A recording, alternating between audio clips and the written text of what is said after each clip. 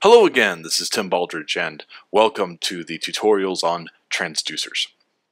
We're going to do a multi-part series on transducers. They touch so many aspects of Clojure and, and influence so much of uh, uh, normal Clojure development that uh, I thought it'd be a good idea to just do a big deep dive into transducers and how they work.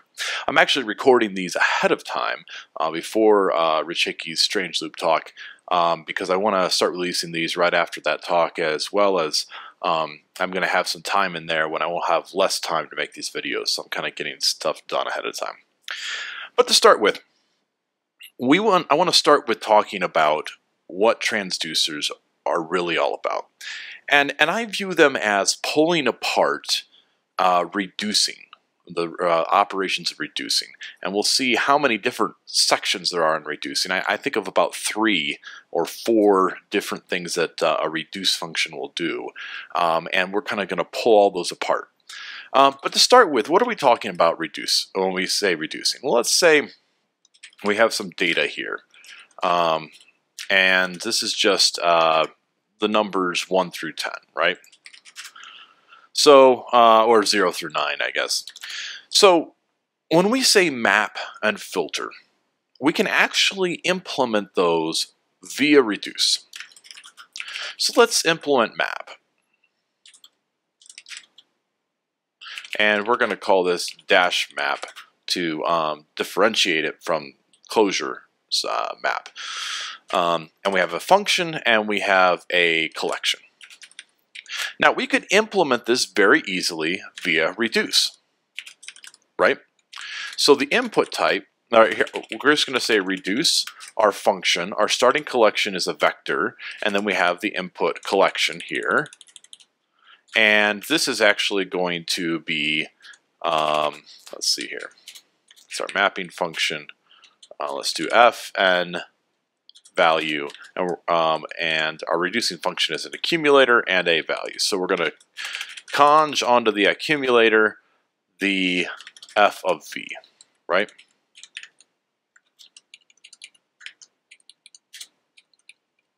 All right, and we can run that, and then we do map data, inc data, and we get the incremented numbers, right? Now this is eager, right? So we're not talking about laziness. We're just talking about the formal definition of what map would do.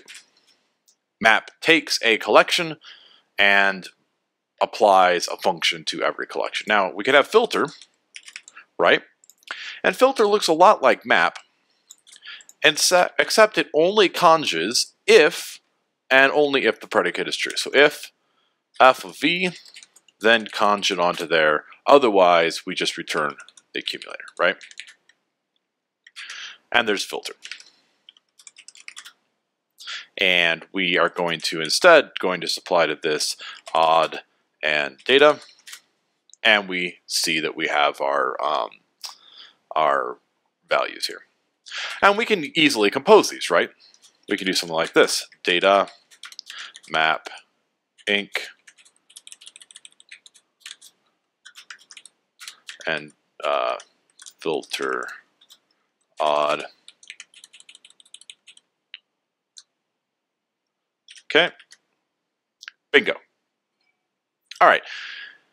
So that works. But there's something, and I'm going to use the, the wonderful word that we all love to use, right? We're going to use the word complect. There is some complecting happening here in that we don't know what this function is right here right? Um, actually, let's let's uh, back up a step, and we're going to show another way that this is um, complecting, and that is we have this reduce every time, right? There's really not a reason why we need that reduce. We could move it outside of the function, right? So we could do defn map f of, uh, we, we could have our mapping function be something that has f, and then it defines a reducing function like so. And then we could say conj onto the um, of f of v, right? So now what we've done is said, you know what, we don't need this reducing logic. We can pull that out, right? So now we can write something like this. We can say reduce mapping inc and then we have this and we have data, right? Boom. Cool. So that's kind of neat because what we've done then is we've um, we have the ability to um, pull out this reducing logic. So we don't have that reducing logic implemented every all, all over the place. And you could probably also turn this into a lazy seq, right? Each value that comes into the lazy seq is simply we apply this mapping onto it. Except we have one more problem. And that problem is this conj right here. That's another level of complecting. We are assuming something about the collection. We are assuming that it is a conjable collection, right? That is perhaps a bad assumption. Now, we could um, name this something. So how about something like, um, we could name it F, but we already have F up here. Uh, let's call it job for now, um, or task perhaps, but it's going to do something, and we don't know what that something is, and we really don't care. Um, so we could put job up here, and then when we run it, uh, we get wrong number of args, so we have to put conj in here. Yeah, that works. But what if we wanted to create this beforehand, right? What if our um, reducing function was something like this? And we want to just say, it's just, it's just something that increments. We don't know what you're going to use this for, but it's just a, a pattern for how to do something. We really don't want to put conj up in here because then that complex it with the construction of our pipeline, right? So we could do this just fine, right? So there's that, and there's that. That works, but it's still kind of ugly. What we want is we want conj down here with the reduce, but the ability to pull the task out. So when we hit this problem, what do we do? Ah, another level of functions, right? So now we have this. Mapping is something that takes a function, and later on we supply the job to it, and from there we get a reducing function. So now we can remove this out of here, right? Boom. And down here, when we call rfn, we can pass it conj, and that'll make our reducing function. Boom. So now, this part of the code right down here can be completely separate. What we have wrapped up here together is the job we want to do and the starting collection and the data. And that's completely separate from our pipeline. Can we rewrite filter that way too? Well, of course we can. Filtering, F. Fn of job, Fn ac v, so we have this, this pattern, right? And then it's just the same thing we had before. If f of v, then job ac f, or, or v, otherwise just return the accumulator. So what's kind of really cool about this, and this is this is the brilliant part of what Rich developed with transducers, is we've taken this idea of the job and abstracted it away. So now we don't have to care what it is. And we have filtering.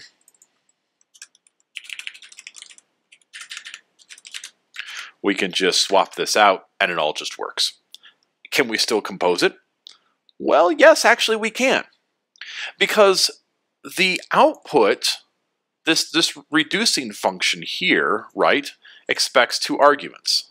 And the same right here and the output of this filter. So let's think about this real quick. When we supply odd, the output is something that takes a job. Right? And from that, we get this, uh, and it, expe it expects that job to take two arguments, which is the same as this function here. So they actually compose with comp. So what we can do is say mapping inc filtering odd and the output of this mapping is going to get passed into the next function and into the next function. So when we pass conj, it gets passed to um, filtering first, and then the output of filtering gets passed to mapping, and then the output of mapping returns this function here, right? So, so why is it, why do we compose it this way? What, what comp the stuff backwards, right? This is going to execute first, then this. Well, that's kind of what we want because, because uh, look at it a little bit, but it, it's basically that it injects the job in a backwards fashion. Um, stare at it a little bit, it'll make sense. So there, that's what we get, right? We do the mapping first, and then the um, filtering. All right, so that is the guts of uh, transducers. In fact, um, sometimes in the code, the Clojure code, you'll see F1, but really um, we're going to call it XF for now, for an X uh, transform. So this is the way I actually like writing it, is, is somewhat like this. There we go. All right, so that's the, the tutorial for today. Now, there are two other aspects of this that we need to kind of to tease apart and pull apart. Um, and we'll cover those in the next tutorials. Uh, but that's kind of the idea for this first tutorial, is that is that the thing that we've decomplected here is this conj and the reduce. We've pulled those out so that these things right here really need to have no idea at all what um, is happening. Like, it doesn't have to even really be a collection. It's just something,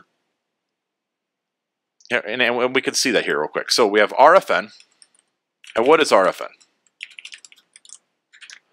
RFN is this, this function, right? It expects a job. Now that job could be something like this. It could be simply plus. And then what the function out of that expects is an accumulator and a value. Now, why do we get 42 out of this? Well, the first thing we did was filter the odd, right? So it only will accept odd numbered values. Sorry, sorry uh, it filters the odd. So it increments though first. The first thing that happens is we passed in 1 to here. 1 got incremented. It is no longer odd, and so the addition doesn't happen. If we do 2, it got incremented to 3, adds it to 42, and so on and so forth, right? So we can go down here and say plus, our accumulator is 0. Now what's going to happen?